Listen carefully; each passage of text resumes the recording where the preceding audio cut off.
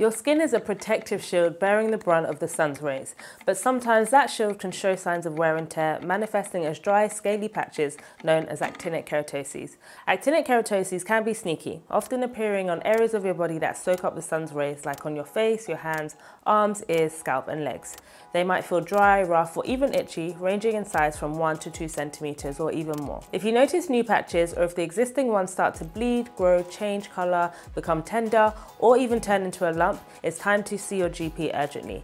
It's crucial not to ignore these signs as they could be an indication of something more serious like skin cancer. Your doctor might suggest a wait and see approach or offer treatments ranging from prescription creams to freezing the patches or even minor surgery. Now here's where you come in. Regularly check your skin for any changes. Use sunscreen with at least SPF 30, wear protective clothing, and avoid being in the sun between 11am and 3pm when the sun is at its strongest. Stay sun safe, and until next time, subscribe.